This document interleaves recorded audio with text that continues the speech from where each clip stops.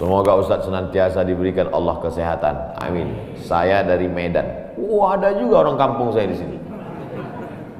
Bagaimana cara bakti seorang anak? Cara membahagiakan orang tua berjarak jauh dengan kita. Sedangkan bertemu dekat bersama orang tua mungkin hanya satu tahun sekali. Idul Fitri saja. Karena harus bekerja di PT Antam TBK Sulawesi Tenggara.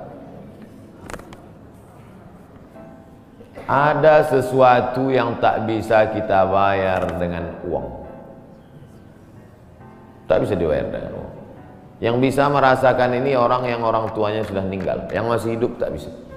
Lam ya'rib man lam. Yang tak pernah merasakannya tak bisa menceritakannya. Karena tak bisa dirasakan. Setelah orang tua itu tak ada, barulah kita rasa dunia ini hampa, tak ada gunanya. Duit itu tak ada gunanya, mobil itu tak ada gunanya, rumah itu tak ada gunanya, apa pun tak ada gunanya. Waktu dapat saya gelar doktor dari Sudan, pulang saya ke rumah, tak ada gunanya. Tak bisa lagi diceritakan. Dulu apa pun yang dapat diceritakan, ma, aku dapat sorban dari ma, aku dapat peci. Setelah pulang tadi, pulang dari Brunei dapat gelar visiting profesor di Universitas Islam Sultan Sarif Ali. Tak ada gunanya hampa. Paling-paling ditulis di baleho aja, profesor. Nanti setelah dia tidak ada, barulah kau cari mana kain yang pernah dia pakai dulu. Mana sajadah yang dulu dia pakai waktu sholat.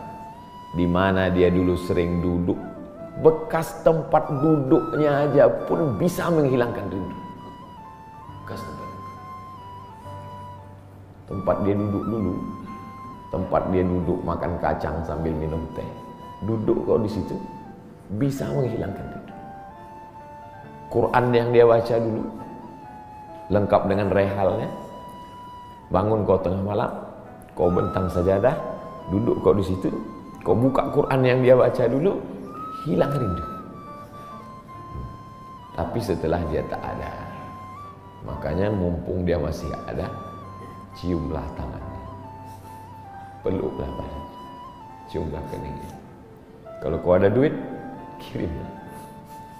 Tak bisa karena cari makan jauh Pak Ustaz. Mesti terbangun dari Sumatera sampai kemari. Apa boleh buat? Memang begitu kondisi ekonomi kita sekarang. Allah tidak marah. Tapi kalau kau mampu kirimlah. Siapa orang yang kira-kira bisa digaji dibayar untuk memasakkan dia di rumah berkirimlah. Karena sampai masanya nanti duit yang banyak itu tidak ada gunanya. Sebanyak apa pun kau simpan tak ada rasanya lagi. Hampa tak ada gunanya. Maka mumpung dia masih ada. Idul Fitri paksa-paksakanlah pulang.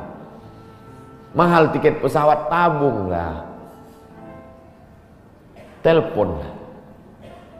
Masih ada dia menyambut teleponmu, berikan HP yang kira-kira lama dia pakai, tinggalkan mak ini chargernya ini handphonenya ini baterainya persiapan kalau rusak pasangkan di sini. Nanti kalau aku telepon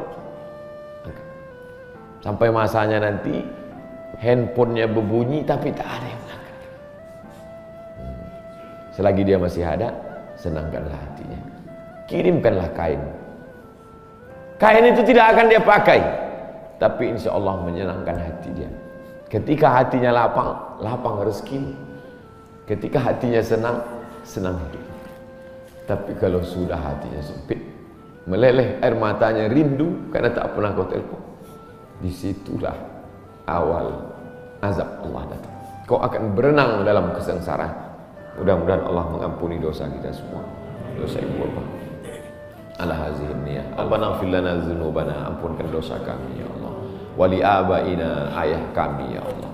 Melepuh kulitnya untuk menyekolahkan kami. Tak dapat kami balas budi baiknya ya Allah. Wali ummahatina emak kami. 9 bulan 10 hari kami dikandungnya. 2 tahun kami disusukannya.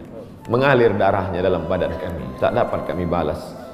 Tak dapat kami balas kebaikannya. Sekali teriakannya saat mengeluarkan kami ke alam yang fana ini tak dapat kami balas kebaikannya ya Allah. Kalau dia masih hidup, sahih jasadaha, sehatkan badannya. Qawi imanaha, kuatkan imannya. Allahumma hal istiqamata berikan dia istiqamah dalam iman dan Islam. Kalau dia sudah meninggal dunia lapangkan kuburnya ya Allah.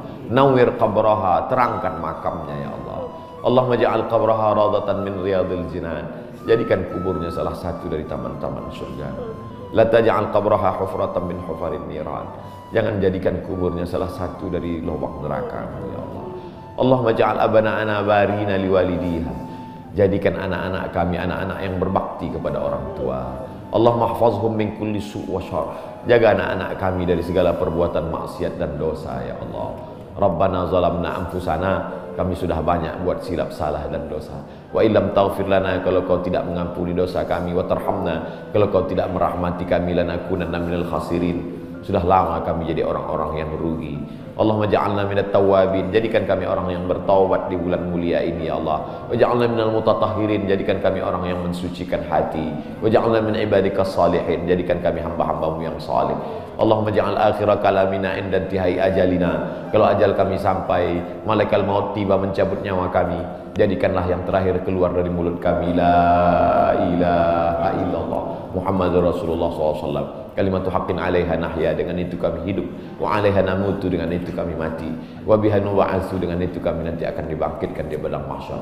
Rabbana atina fid dunya hasanah wa fil akhirati hasanah wa qina adzabannar wa sallallahu ala sayyidina wa maulana muhammad wa ala alihi wa sahbihi wa sallam. Walhamdulillahi rabbil alamin